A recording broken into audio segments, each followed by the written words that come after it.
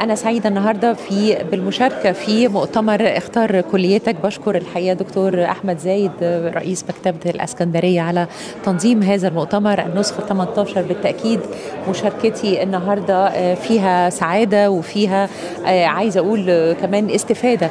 إن أنا أتكلم مع الطلبة في هذه المرحلة مرحلة فاصلة في عمرهم يقدروا إن هم يحددوا فيها كليتهم يختاروا مستقبلهم.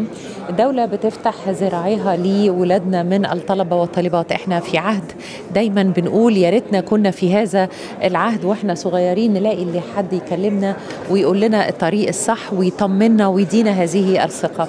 أنا سعيدة النهاردة إن إحنا بنشارك أيضا كتحالف الوطني للعمل الأهلي التنموي. حضراتكم عارفين إنه إحنا إمبارح أطلقنا يعني حملة مهمة جدا إيد واحدة. وبالتأكيد إن أنا لما أكلم الطلبة عن كل ما تقوم به الدولة وما يقوم به التحالف بنتكلم عن مفهوم التطوع بنتكلم إزاي إن إحنا نخدم مجتمعنا بالطريقة اللي إحنا محتاجينها في تحدياتنا الاقتصادية والاجتماعية. شبابنا أنا متأكدة حبهم لوطنهم ولائهم لوطنهم إنما لما بيشوفونا كمان نتكلم معاهم ونعرف منهم ونرد على استفساراتهم ونديهم من المفاهيم اللي إحنا كمان اتربينا عليها. ده بالتأكيد هيبقى إضافة كبيرة ليهم. وإحنا متأكدين برضو من خلال هذا المؤتمر إن إحنا هنستفيد أيضا من كل مداخلات الشباب. التحالف الوطني بيجتهد بمتطوعينه بيقوم على مفهوم التطوع.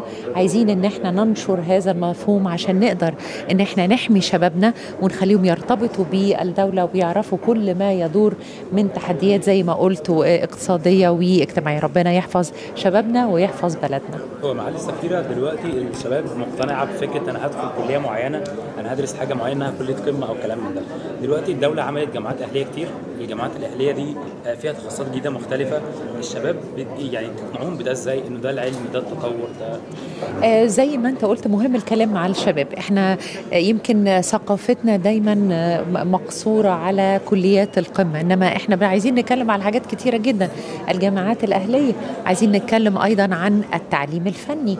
عندنا حاجات كتيرة لابد إن إحنا نثقل بيها مهارة الشاب ويقدر إن هو يتطور إزاي يعرف إزاي يبحث إزاي إن هو يتكلم مع المستشارين بتوع الكلية والأساتذة عشان يدوله يعني طرق المعرفة وطرق البحث. كل ده الحقيقة أنا شايفة أنه مجال جيد في هذا المؤتمر اللي سعيدة أنه هو بيتكرر في نسخته 18 أن إحنا نقدر أن إحنا نوعي الشباب ونقدر أيضا أن إحنا نزقهم على المعرفة وعلى التعلم اللي دايما ما بينتهيش عند حد معين.